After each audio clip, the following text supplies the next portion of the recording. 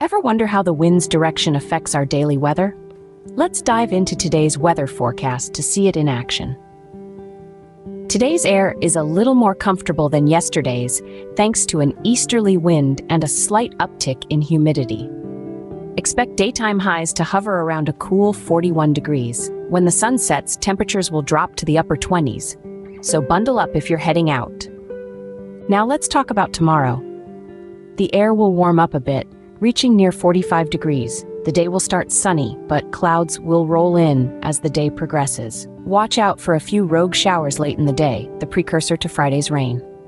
Speaking of Friday, prepare for rain in the morning that might impact your commute. Expect moderate showers and puddles scattered across the state. If you're in the higher elevations, be on the lookout for potential freezing rain as temperatures dip close to freezing. This isn't a widespread threat, but it's worth keeping in mind. By midday, the rain will taper off, perhaps even turning into a brief wintry mix in the higher regions before the sky clears up. Temperatures will reach a slightly warmer 51 degrees. As for the weekend, it looks mostly sunny and fair, especially on Saturday with highs near 40 degrees. Sunday will be a mix of sun and clouds, a bit breezy with highs around 44 degrees.